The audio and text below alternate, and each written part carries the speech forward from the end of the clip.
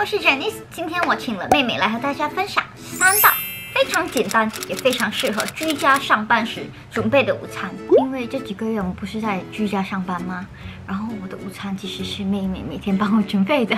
今天的料理有韩式泡菜炒饭、番茄海鲜汤，还有一个营养均衡的西式拼盘。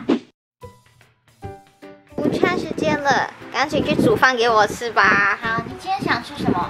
韩式的泡菜炒饭好了。好，我现在就去煮给你吃。快点，好饿了。所需食材有芝麻油、韩式辣酱、韩式泡菜、鲔鱼罐头、隔夜白饭、蒜蓉和海苔。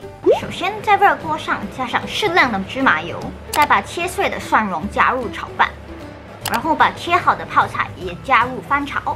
再来，我们就要加入鲔鱼炒饭。然后倒入隔夜饭，炒拌均匀，再加入适量的韩式辣酱拌匀，最后添加撕碎的海苔拌匀就完成了。我们现在来吃饭啦！这是我们很常吃的尾鱼泡菜炒饭，我觉得好好吃，嗯，好喝。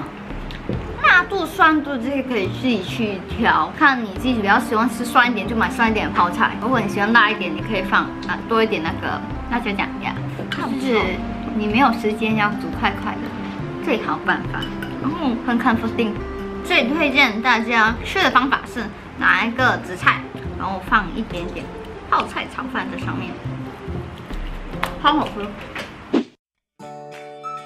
现在时间差不多午餐时间，我们赶紧去看妹妹今天为我们准备了什么美味的午餐吧。妹妹，我们今天要吃什么呢？今天我要煮 tomato seafood stew。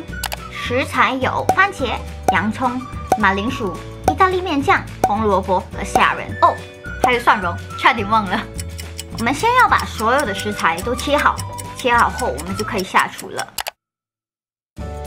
第一步是在热锅上加入适量的橄榄油。再把切碎的蒜头加入炒拌，然后加入切好的洋葱炒熟，之后我们再加入刚才切好的蔬菜，还有适量的水，然后我们可以依据自己的喜好加入意大利面酱，稍微拌匀食材和酱料后让它滚，最后我们把虾仁加入就完成了。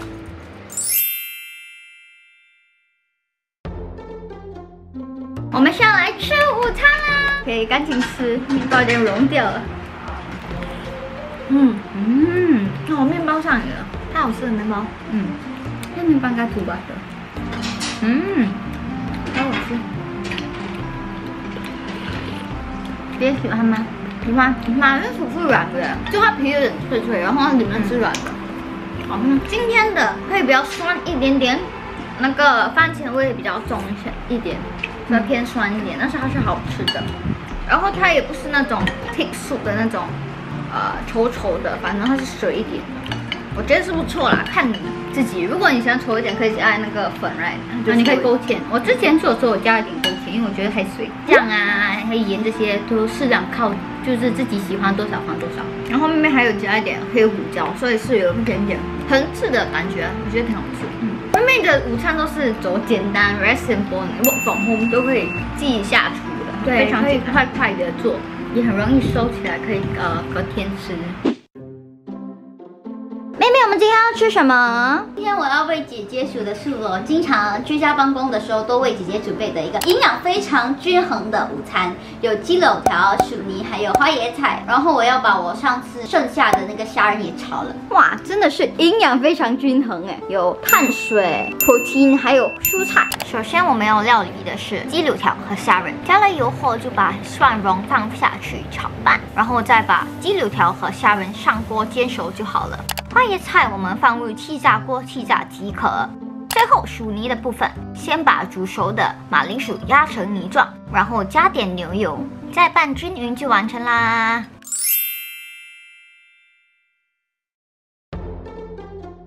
煮好啦，我们来吃吧。好饿，我先吃薯泥好了。你呢？我先吃虾仁。嗯，啊，好饿。淡淡的奶油香，甜甜的，好好吃哦。这款马铃薯挺适合做薯泥，甜，甜的花椰菜。这次我在想跑一点放吧。我下了盐跟黑胡椒，但是还是没味道。但花椰菜就是能多好吃，这个久。嗯，这有一句很好吃，韩鸡黑胡椒下很多，有点辣。呀，你喜欢吗？嗯，很好吃。我们赶紧继续吃饭吧。今天的影片就到这里。如果你喜欢这类影片，让我知道，我会跟妹妹说，叫她多拍一点这样的影片。我们就下个影片见，拜拜。哦，偷偷告诉你们，后面其实还有更多，记得看下去。星期五晚上来到我朋友 Rachel 的家，现在妹妹其实在准备我们的晚餐。今晚她要煮川川辣鸡给我们吃，快好了。如果你想要看妹妹讲煮这个川川辣鸡的话，可以让我们知道，我会叫妹妹拍一集给你们看。大厨好不好吃？好吃，我觉得我太有天分了。What about you? What do you think of her food? 好吃好吃。First time eating Jolene's food. yeah, she brings to me some. Are you amazed that she's cooking now? You see? she doesn't even come to the kitchen ever. Yeah. 虽然我之前已经吃过妹妹煮的，但我们试一下今天的。先吃一个马铃薯，好看。嗯嗯，好吃。